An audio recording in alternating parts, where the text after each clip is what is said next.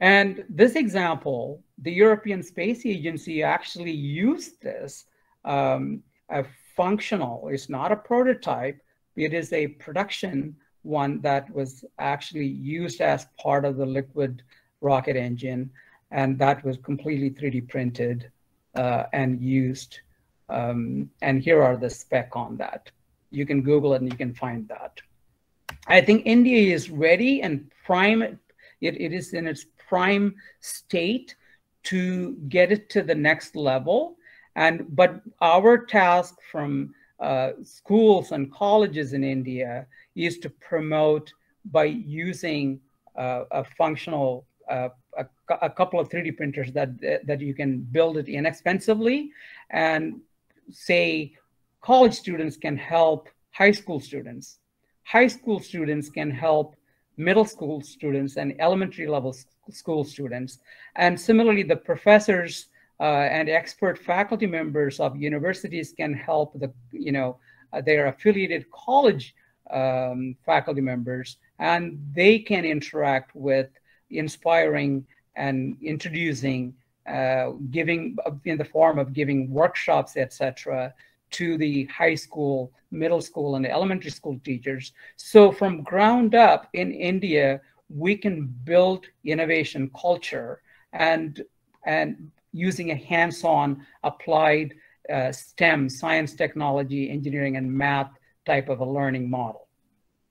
I hope it makes sense and it is very much doable, but the only thing is that Indian uh, institutions have to support it. I think we are ready and the government, I believe, is trying to do everything. And let's talk about another vertical market uh, where biomedical devices, uh, say I, I was in San Jose in the Bay Area, um, there is a specialized company uh, that uses, say, if when you when you are a, medical student and you are um, uh, you are going to the anatomy lab and um, the actual dead bodies, cadavers that are being opened, and it smells really bad when you go into an anatomy lab. And uh, you actually get to touch and feel um, and, and put that body back, and you become a doctor. What about that? You know, so that at one point you actually need that. But before that, you can actually use a 3D printer to um, create a create a model of say your heart or a specific type of valves in the different sections of your heart. And uh, then you can specifically zoom in and focus and uh, highlight the different parts so that it is easier for them to learn. And so you can make medical dummies medical dummy body body parts uh, or even a functional body part uh, that are that can be created. And currently, a lot as you probably have read that in the newspapers and science journals and magazines, these are actively in the works that are being done. Um, what about spacesuit? Spacesuit uh, is extraordinarily expensive uh, it, it, used to be very difficult to manufacture, but these days, with the 3D printers' help, uh, we are able to make custom measure that astronaut and then map, print all the necessary parts and weave them together and create that custom suit. Um, there's a case study. There's a company called a bunch of uh, MIT students got together and they uh, formed a company called Desktop Metal. Um, they are using a special technology where uh, similar to FDM, and they are able to print one of parts uh, with enormous time uh, saving uh, benefits and material strength benefits uh, in every aspect, they're able to do that. So um, I told you um, how innovation that seemingly sounds silly, um, but the sillier the project is, uh, not very serious. Oh, you know, like a mechanical engineering professor in India would say, oh, just focus on this special electrical uh, car engine or motor that you wanted to uh, do. And they will directly go in there and work all the algorithms and the logic behind it, but without ever touching that, um, actually making a prototype in the, you know, first off. But whereas in the US, the culture is, I told you at one point, is a garage-based culture. So you first start with uh, failing, making things and failing a few times so that from the beginning you're focusing on quality and you are uh, your your success in making innovative products are uh, higher or high um, so there was one project um, that was done in MIT that I got to see. Uh, a student, how many, you know, many times. Let me go. Let me go to uh, video um, because right now I'm just I'm I'm talking to the screen, uh, hoping that I'm actually being um, audible, etc. So. Um, so the the problem in that project, that innovation project, was um, uh, many times you, you feel like screaming, right? Um, but you cannot scream uh, because it is offensive to others. Maybe you're in a public place. Sometimes now, even with the COVID, um, you you try to control your sneezing or coughing or blowing your nose, uh, etc. Um, so this girl uh, in MIT Media Lab um, wanted to create a screaming machine. And what is that screaming machine?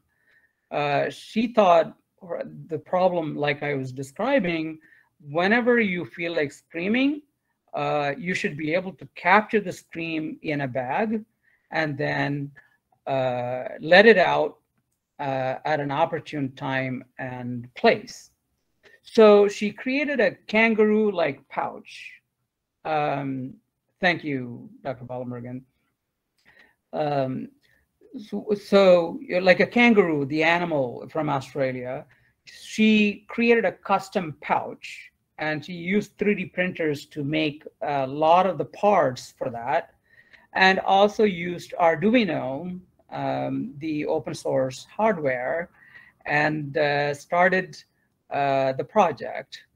And whenever she felt like screaming, she'll open the bag and she'll scream into it um, and then uh, close it. And it had that all of the mechanisms in that product. Then later, whenever she felt, whenever she found the right time and the space where it's not going to bother others, and she'll push a button and it'll open and the scream will come out. Eehaw, whatever scream that is, that the screaming machine, that's what it does. Now, does it have a commercial value? Uh, but it has a cool factor. It is fun. Um, just imagine somebody captured somebody's scream and then it uh, lets it out uh, and you're able to control the time and space for that. And the amount of science and technology engineering uh, and uh, and the promotion of innovation that happens in that project is huge okay? Um, so that being said i would like to open up the presentation for questions and answers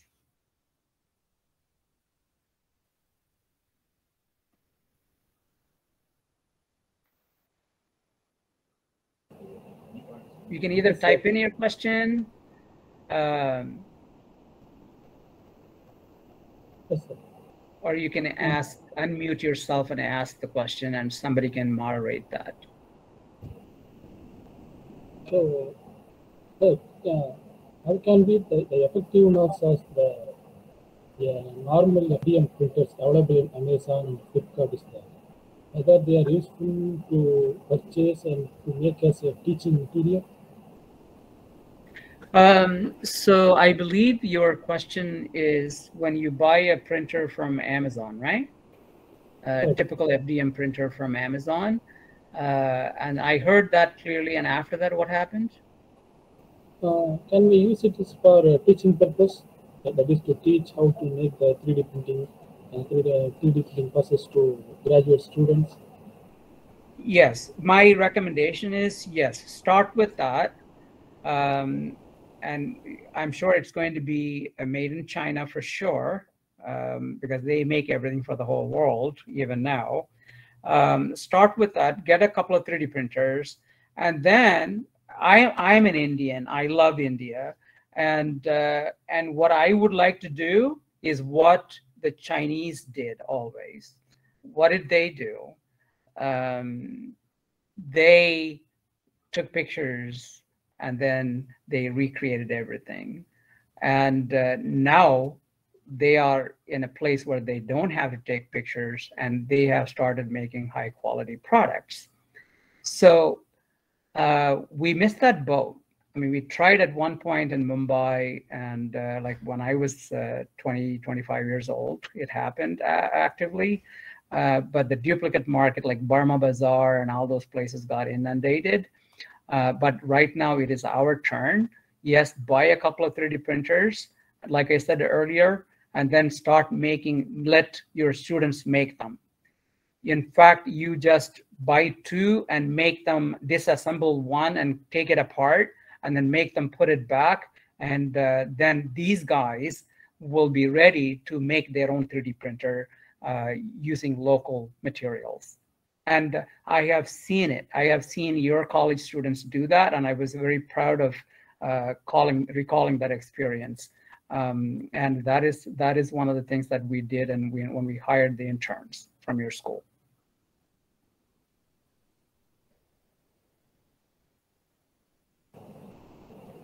Uh, next one, sir, from, from my side. Yeah. What Uh, are the research opportunities in 3D printing, especially polymer 3D printing? Because it is saturated, I think. Is there any opportunity to do research further in this polymer-based 3D printing? Uh, Dr. Balamurugan, the voice is kind of mumbled. Um, uh, Can, now can you hear sir? yeah, if you can speak up, maybe. Okay, Speak up I will again, I will Yeah. again ask. Yeah. What is the research opportunities in uh, polymer-based 3D printing? Because most of them are tried, I think it is not fully established. Is there any opportunity to explore more? That is to do research in polymer-based 3D printing? Um, I actually knew a professor uh, that I worked with in SRM uh, University, and his focus was on um, optimizing uh, the polymer technology for 3D printing. Uh, and he was also working with the students uh, using recycled like plastic waste products everywhere, collecting them, and then uh, re uh, repurposing and making um, 3D printable like pellets first, and then later the pellets will become uh, extrudable uh, wire spools, and that was the research that he was doing. So the my my answer is yes. What I would do, uh, again, I that that is a nice project uh, since we are still using a lot of plastic and waste and stuff. Um, and I would uh, strongly encourage uh, having a bunch of students do research uh, and have a competition around that. I can even support such competition through some sort of a, an award at the end for good ideas uh, or good, good, uh, good, um, say, prototypes that they can make. So when they want to do research in the polymer 3D printing, what would be the range of the machine to be purchased or procured? for this of research because we are academicians. Mostly are concerning about research and teaching. So what is the range of uh, the machine is required for effective research? Polymer Yeah. Um, I, I'm sure we can have a separate conversation around this. Okay. I can even connect um, because I'm I'm not a I, I don't go into I'm at the managerial level, um, so I, I'm not, I'm not able to go into the lot of technical aspects of it. Okay. Thank you. Uh, anybody else?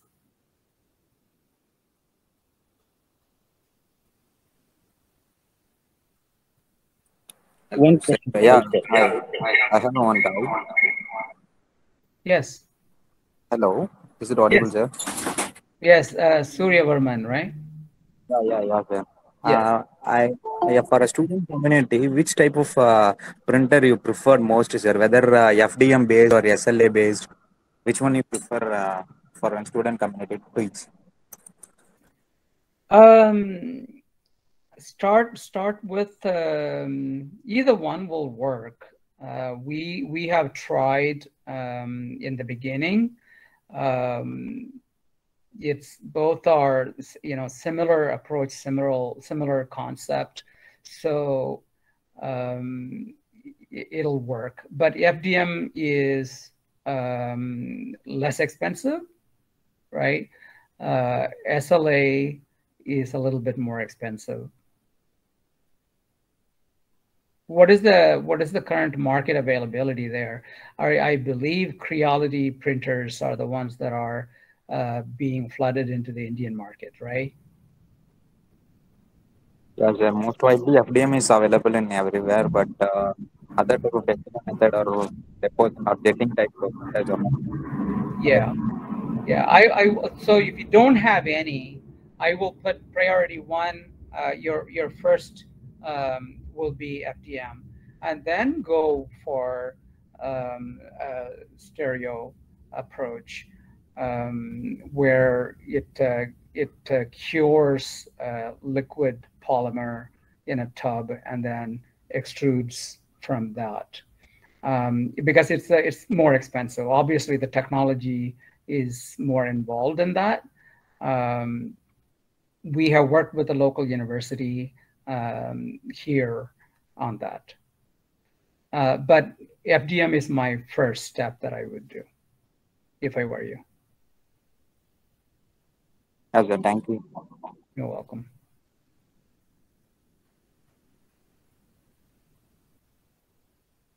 Anybody else?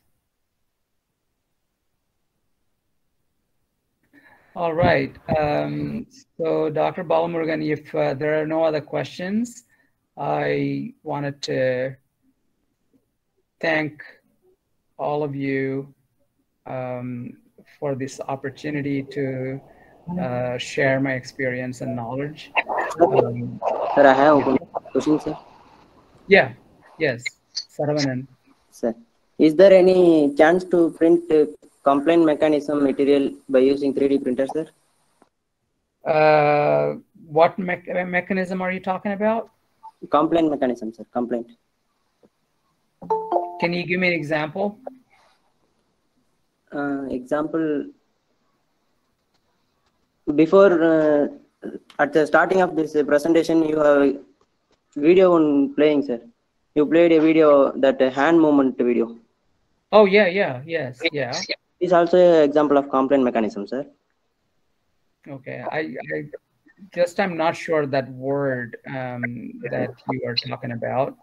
Okay. Um, yeah, so there is a lab um, in uh, in New Hampshire in the U.S.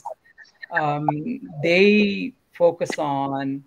Um, are you talking about complex structures? Sir, uh, it's a flexible mechanism, sir. Complaint mechanism is also otherwise called flexible mechanism. Flux. Oh, okay, okay, okay. Yeah. So you have to you have to um, you have to print uh, modular parts, and then you have to stitch them together. Um, it's a little bit laborious. So what we try, you know, you have humanoid robot, right? Uh, Yes. Robot can walk. Uh, we ha- we have actually done that. Uh, it'll be unwieldy. Uh, in fact, we took a we, we took a Hollywood actor and then uh, recreate that actor, um, you know, facial structures and uh, all of this. But very very involved, very very involved um, to do that. But it ha- you have to mod- modularize every segment and then put them together through some sort of joints uh, assembly system. Okay, sir. Okay, sir. Thank you, sir. Yeah. Uh, sir, uh, one, of, one of the participants asked me permission to speak with you. Can we allow him? Uh, sorry, sorry. What was the what was the uh, comment there? Comment or question?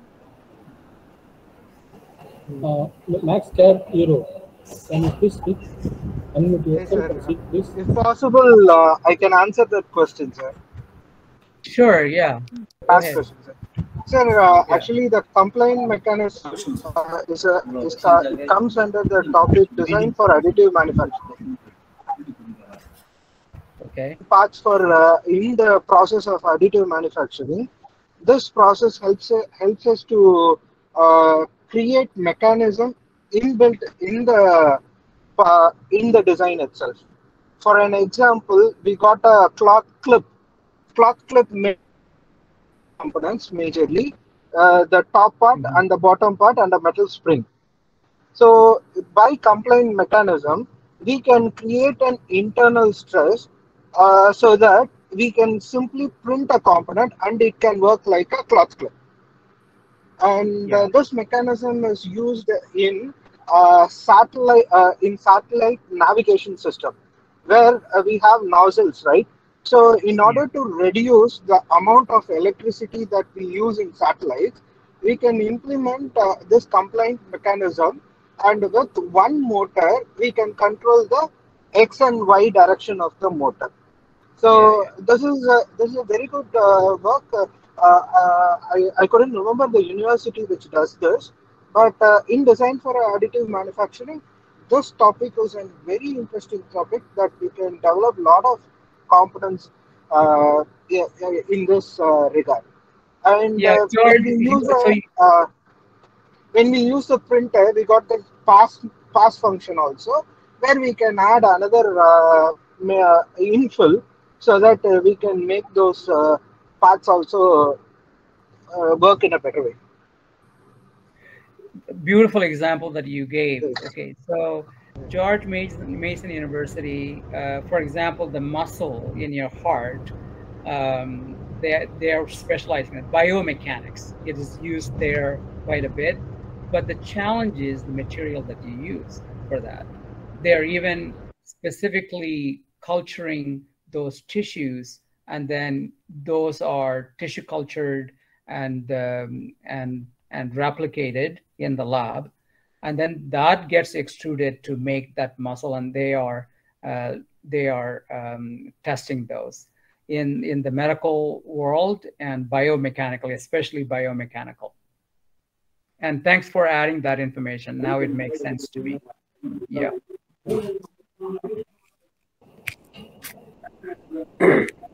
Sir, I am Santosh Yeah. Kumar, sir. I have, I have one doubt, sir.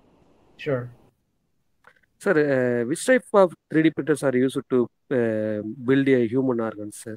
Is possible?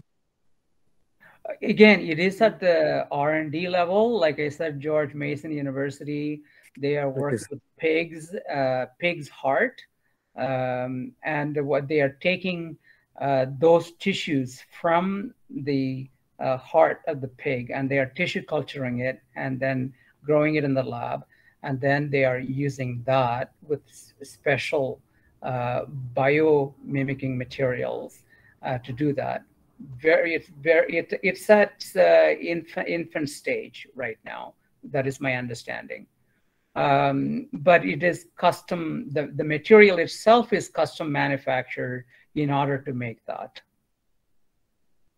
Okay, sir. Thank you, sir. Sir, which type of 3D printers are used, sir? Again, those 3D printers are specialized 3D printers. Okay. Uh, it Okay, wouldn't fit into any of these categories that we are talking about currently. See, 3D printer technology has been there for a long time.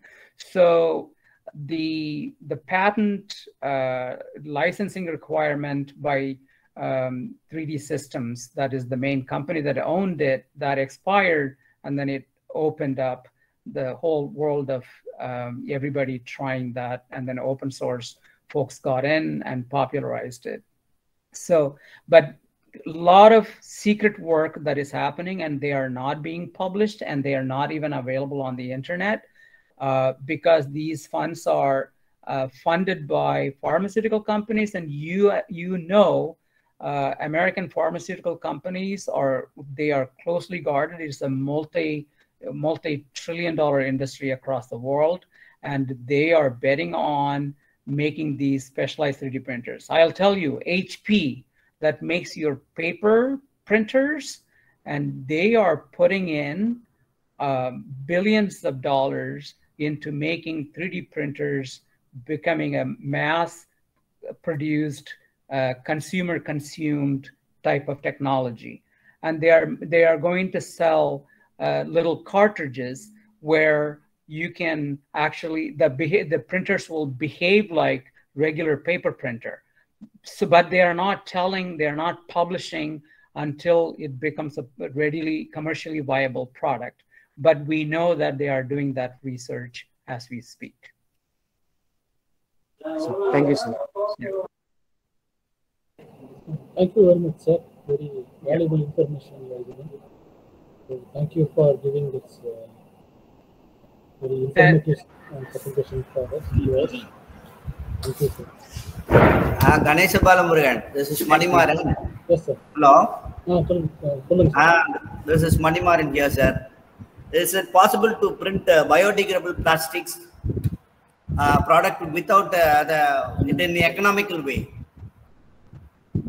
Um, so the one that uh, say the U.S. schools are very much uh, into um, uh, health, right? So the bioplastic material is uh, what? Which one is that? SLA. Um, the material that I showed. Um, all these print uh, materials that we use here. Let me bring that.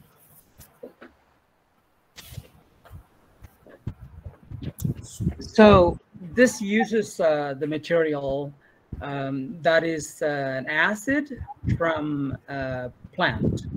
It is an acid-based um, material, and it so it, this is closed environment, air conditioned. Um, when it is printing, it doesn't cause any bad smell, uh, does not create any fume, uh, no health issues with this. So when we have students come to the lab and learn uh, and print, uh, we are only allowed to use this. Uh, any other type of um, uh, anything uh, other like other other materials, um, you're not allowed. Okay. Thank you, thank you, sir. Yeah. All right. Very good. Yes, sir. I have one more question, sir. This is Vetri Sharman, sir. Yeah. Uh, yeah, will a 3D printed object superior in strength when compared with uh, conventional products, sir? What about in strength perspective, sir? Um, so that is a lot of people are doing their PhD level research on uh, tensile strength, uh, uh, malleability, ductility, uh, those elemental analysis type of things, and that is where every university, major universities are focusing on material science. Material science that will uh, research and develop uh, the materials that are going to give optimal strength needed in specific temperature, right? For example, if you are putting a 3D printed material on the space station, on the space station on one side, it is facing one side of the um, uh, the space that is uh, about minus 200 degrees Celsius. On the other side, it is um, plus uh, 200 degrees Celsius. So one side it is almost, uh, you know, melting. The other side it is freezing, and it, the material has to withstand extreme uh, such variation, temperature variation. So that is the reason material science is one uh, department where a lot of active research uh, is happening in the U.S. and funding is also getting uh, pouring in. HP, like I said, how you can make 3D printers that can be mass consumable, uh, consumer friendly, like regular paper printer, and where's the money being spent on the research? Material science. So you take the elements in the periodic table and make a concoction. Remember, நம்ம அந்த காலத்துல we were a- we were making uh, uh, trying to make gold out of bunch of uh, plants. Um, சித்தர் சித்தர்கள்லாம் சொல்லுவாங்க சித்தர் மெடிசன்லாம் பண்றது அந்த மாதிரி uh, the material science is uh, hot right now and um, I, I- if I had the go to that but it is an expensive thing. Uh, private companies uh, e- even very big companies um, you know in India cannot afford it. Uh, it, it, it, it has to be a frontier research. Uh, frontier research means uh, start with theoretical fundamentals, understand um, the elements in the periodic table, and then make how to make a concoction, um, and then uh, how material science R&D will be able to uh, filter that out and and say, oh, you make this these three elements in this formula, then you can print uh, a, a specific uh, component that'll work in X, Y, and Z temperature condition and variability. Thank you, sir. And I have one more question regarding actually uh, business point of view. Yeah. And what is the scope of uh, doing business with uh, 3D printer? Is this the right time to uh, invest on uh, 3D printers to do certain business in Indian uh, perspective, Indian market? Yeah, I was actually thinking about making, uh, you know, you have uh, malls, uh, shopping, big uh, supermarket. Uh, is that uh, in Chennai? There's a place called the Phoenix Mall. Um, in Pondicherry, there are some big multi-level places. Um, and now there is a consumer market for, um, you know, mehendi, the henna, right? Henna? Yes, uh, yes. Nama Mardani. Yes. Um, so you, I would like to make a 3D printer that'll apply Mardani in beautiful designs. Um, they can they can uh, they can draw their own picture, what type of thing that they want.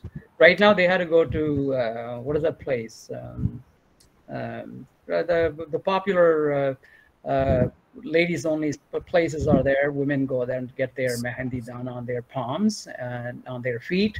Uh, but 3D printer can do it. They just have to go, um, you know, like they go to a salon um, and you get your makeup done.